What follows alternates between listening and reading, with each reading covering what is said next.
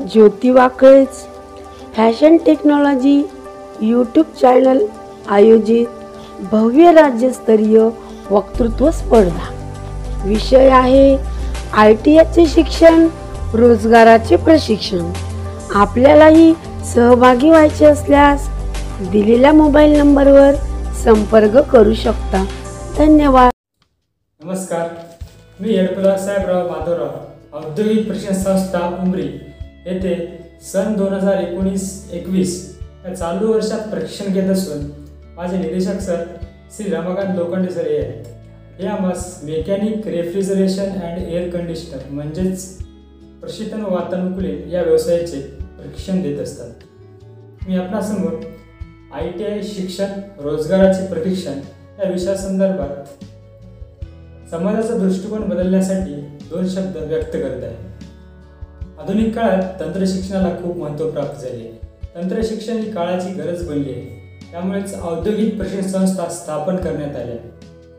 औद्योगिक प्रशिक्षण संस्था म्हणजे शासनाची किंवा शासनाची मान्यता प्राप्त असलेली शिल्पकारागीर प्रशिक्षण देणारी संस्था. कुशल कामगार तयार करणे व विद्यार्थ्यांना स्वावलंबी बनवणे या संस्थेचे मुख्य उद्दिष्ट आहे. ज्या विद्यार्थ्यांना पुस्तकी शिक्षणापेक्षा एखादे तांत्रिक काम करण्यामध्ये रस असेल त्यांना आय टी आय उत्तम पर्याय ठरू शकतो. वाढत्या औद्योगिकरणासाठी कुशल कामगार तयार करणे तसेच तळागाळातील सर्व घटकांना व्यवसाय शिक्षण मिळ मिळवून देणे यासाठी व्यवसाय शिक्षण व प्रशिक्षण संचालनामार्फत अनेक कोर्सेस राबविले जातात. विद्यार्थ्यांच्या गुणवत्तेनुसार त्यांना आवडत्या व्यवसायाची निवड दर्जेदार शिक्षण एस टी पासची सोय विद्यावेतन तसेच संस्थेअंतर्गत विद्यार्थ्याच्या व्यक्तिगत विकासाच्या दृष्टीने अनेक उपक्रम राबविले जातात.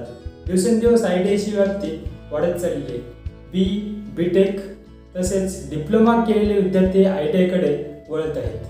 कारण आजचे ट्रेडिशनल शिक्षण घेऊन एक आयुष्यातील दोन चार वर्ष वाया करून पुन्हा विचार करण्यापेक्षा कोणत्याही कौशल्य प्राप्तीच्या दृष्टीने औद्योगिक वातावरणामध्ये शिकवले जाणारे व्यवसाय शिक्षण निश्चितच आपल्याला नोकरी मिळवून देऊ शकते. त्याचबरोबर स्वयंरोजगार करण्याचे व उद्याचा उद्योजक बनण्याचे प्रेरणा देखील देऊ शकते. इतर शिक्षणाबरोबरच व्यवसाय शिक्षणाची तुलना केल्यास नव्याण्णव टक्के लोक हे स्वयंरोजगार व नोकरी करण्यामध्ये यशस्वी ठरले आहेत. आम्हाला आय टी आयमध्ये सकाळच्या सत्रात थेरॉटॉकली म्हणजे समजा रेफ्रिजरेटर आहे त्याची वर्किंग प्रोसेस वायरिंग त्यात येणारे मेकॅनिकल्स प्रॉब्लेम्स असे सर्व सर्वांची म्हणजे सकाळच्या सत्रात दिली जाते. तर दुपारच्या सत्रात त्या रेफ्रिजरेटरविषयी पूर्णपणे प्रॅक्टिकली निदर निदेशकांच्या निदर्शनाखाली दिले जाते. व ते प्रॅक्टिकल स्वतः आम्ही करून पाहतो. काही अडचण असल्यास आम्ही निदेशकांना वेळोवेळी प्रश्न विचारून त्याचे निराकरण करून घेऊ घेत असतो. सत्तर टक्के प्रात्यक्षिक व तीस टक्के लेखी अशी आय टी आय अभ्यासक्रमाची विभागणी खरोखरच उत्तम प्रकारची आहे. आम्ही आय टी आयमध्ये अवघ्या सहा महिन्यातच रेफ्रिजरेटर कूलर्स वॉशिंग मशीन अशा प्रकारची इलेक्ट्रॉनिक्स उपकरणे दुरुस्ती करण्यास सुरुवात केली. तिथे निदर्शकांच्या निदर्शकांनी अगोदर प्रशिक्षण घेतले व ते सर्व प्रशिक्षण घेऊन आम्ही प्रशिक्षण घेत असताना निदेशक सरांनी आम्हाला एक मूलमंत्र दिला होता कमवा आणि शिका.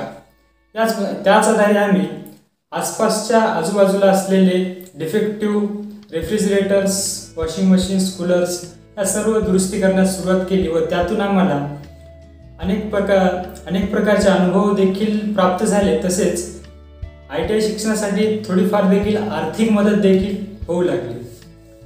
आम्ही जेव्हा रेफ्रिजरेटर दुरुस्त करायचो तेव्हा आम्हाला अनेक प्रकारचे प्रॉब्लेम्स येत होते.